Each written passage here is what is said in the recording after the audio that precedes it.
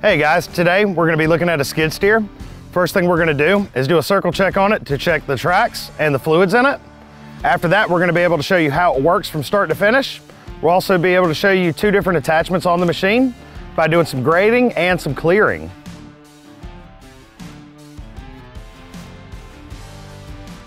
All right guys, the first thing we're gonna look at is the tracks.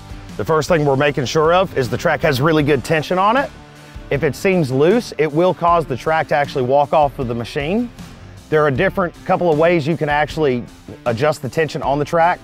Some machines have a socket piece inside the casing where you can turn it to tighten it, and some have a grease fitting you pump up to tighten it. The next thing you're looking for is divots, cuts, or abrasions on the track itself to see if it has any kind of major tears in it or anything that would hinder the machine from being useful at a job site. If you have a wheel unit, what you're gonna be looking for there is major divots, cuts, or abrasions on the wheel as well. The difference is though, it's a tired machine, so you won't have to look for sprockets on that particular machine because everything is internal. On a wheeled unit, another thing to look at and make sure of is all of your bolts are tight that actually adhere the wheels to the machine on the axle it's on for your drive axles. After you get done looking at your tires or your tracks, we're gonna move on to the sprocket of the track unit, which is right here. The sprocket has teeth all the way around, which holds the track onto the machine. This is how you navigate yourself forward and backward for your motion of travel. If you see that a sprocket is either missing a tooth, or if the sprocket appears to be bent or warped, you need to call in a service call immediately because this will hinder your machine from working correctly on the job site.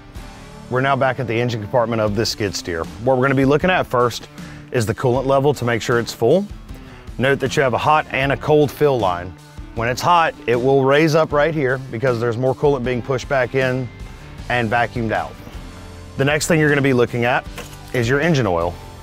Make sure that you have an adequate amount of oil in the machine every single time prior to use. You wanna secure it in tightly to prevent any kind of oil from being exhausted from the dipstick area.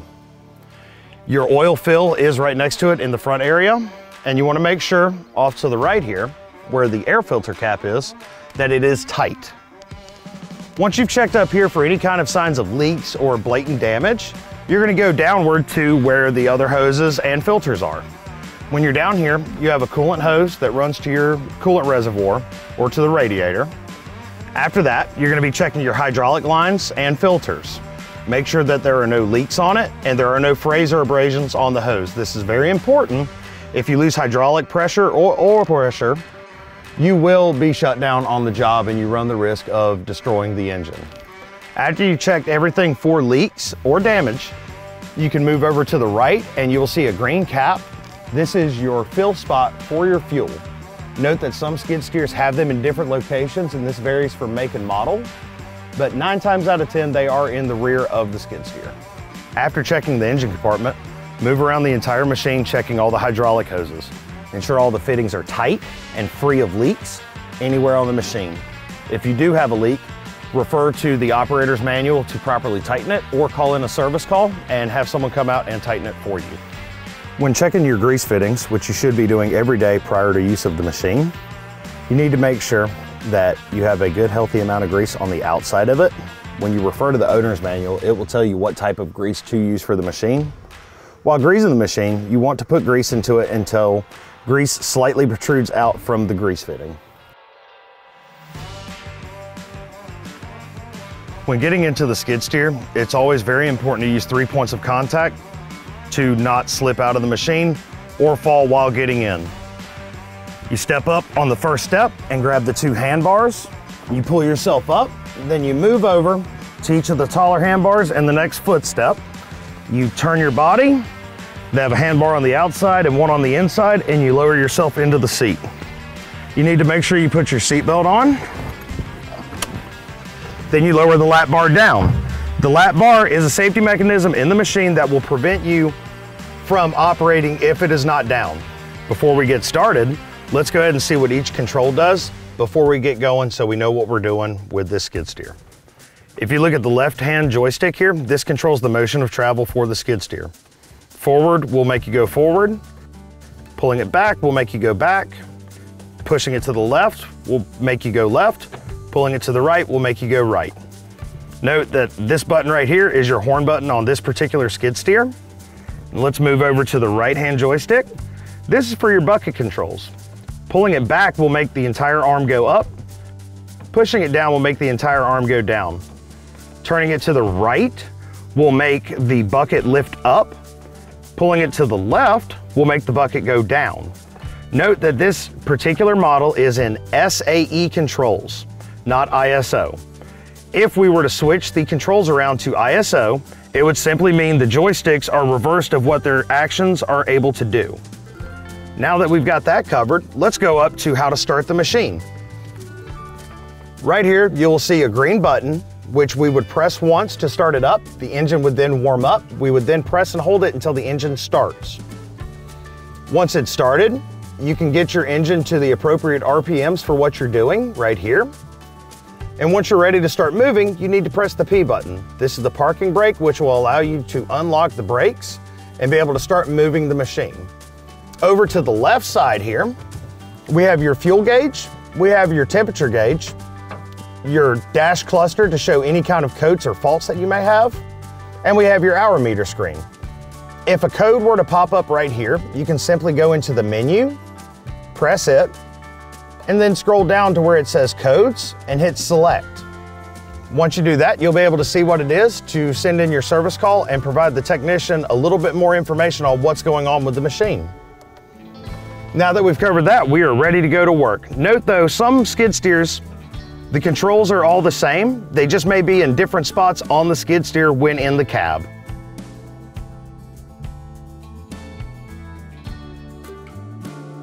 When you're operating a skid steer, some things to keep in mind while you're doing this is always be aware of your surroundings to make sure that you don't have anything in the way, anything dangerous that may harm you, the machine, or the area that you're working in.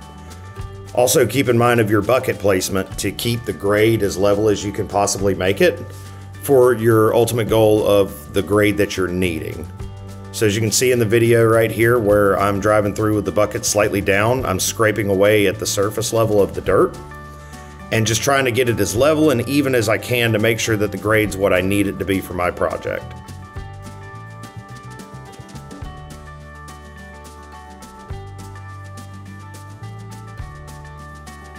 We're gonna disconnect the bucket so we can show you how to do that and we'll be able to reattach an attachment to the machine to show you the reverse order of it. Just note always keep your hands safe when you're doing this. This is a pinch point and can actually cause you to jam your fingers if you're not careful while doing this. You're gonna come up behind the bucket and you're gonna see these two latches right here.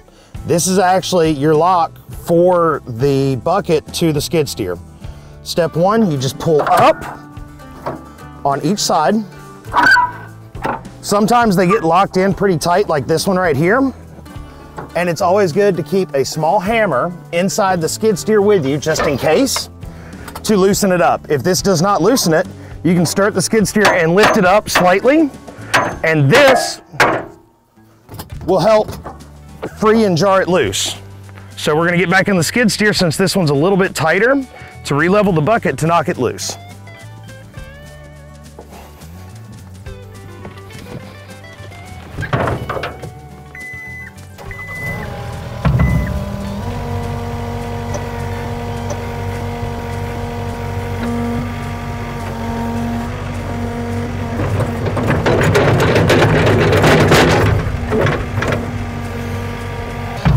We should be able to just simply tilt the bucket and unattach ourselves from it.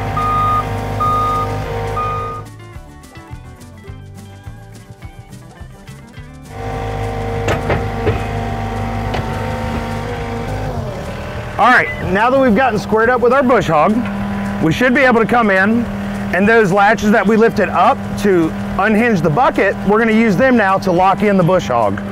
You can simply do this by stepping out of the machine and pressing down on the locks. And now they're locked in and safe to secure the bush hog to the machine. We're gonna cut the machine off to hook up the hydraulic connections, which we will show you here in just a second.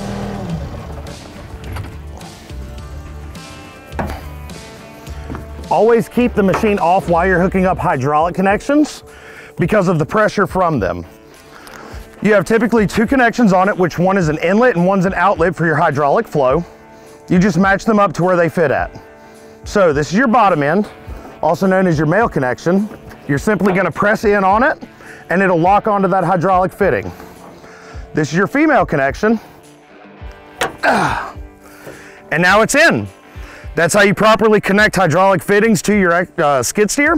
And this will get you good to go and you're now ready to use your attachment. All right guys, what we're looking at here is a six foot bush hog attachment for a skid steer. Some things to keep in mind while operating this, this is a very dangerous attachment. You have an open exposed area here with the blade that free spins. While you're doing that, you need to make sure there's nothing in front of you, such as people or anything along those lines, because this is dangerous and it will throw debris outward. Please note that this spins at roughly one to 4,000 RPMs a minute, depending on the make and model of the bush hog itself. While you're operating this, always keep in mind of your surroundings and what you're going towards so that you know what you're going over. A bush hog can typically take down somewhere between a one and three inch sapling tree with no issues. It's also good for cutting down underbrush such as briars and everything else while keeping you as the operator safe because you're seeing what you're actually cutting down.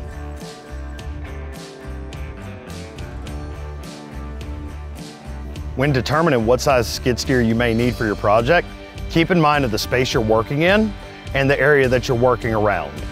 For example, using a walk-behind skid steer, also known as a walk-behind compact track loader, certain models such as the Toro Dingo is a great example, where they have less than a four foot in width area to operate in. At that point, they make them great for landscaping projects, that backyard project, or having to simply get through a gate in someone's backyard. The next thing you need to look at are your larger skid steers, such as this one behind me. This one has a lift capacity of 1,700 pounds and is able to move a lot more earth and a lot larger area than smaller ones. They do make larger models that are capable of lifting up to 4,000 pounds or greater, depending on the make and model. This all depends on what kind of project you're doing and where you're operating at. When you're using a wheeled skid steer, primary uses are typically operated on asphalt or in gravel, while track units are typically used in a more muddy area and dirt area for earthwork. With attachments that skid steers are capable of using, such as asphalt planers, forks for material handling, or skid loading, also, forestry mulchers for chewing up wood in forestry areas, or brush hogs to cut down low underbrush that you may need to get out of your way for hunting, trails, or joyriding with your kids on a four-wheeler. When you're using an attachment on a skid steer, whether it would be a forestry mulcher or a bush hog, or any of the other countless forms of attachments that you may have for your skid steer, there are a major difference you need to take a look at before operating the attachment. There is a standard flow machine and a high flow machine. These are different from skid steer to skid steer based off of how many gallons a minute the hydraulic pump is able to circulate through the machine to the attachment. This is based on 13 gallons a minute or more for a high flow and 12 gallons a minute or less for your standard flow machines. When you're looking at that, a forestry mulcher, which is an attachment for a skid steer, typically has 10,000 RPMs a minute on the mulcher attachment. This requires extra flow from the hydraulic fluid to turn this uh, attachment at that rate of speed.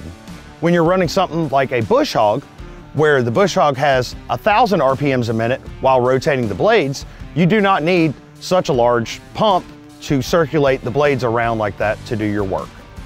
I hope this has answered a lot of your questions today. And if you have any more, always reach out to the DOZR team.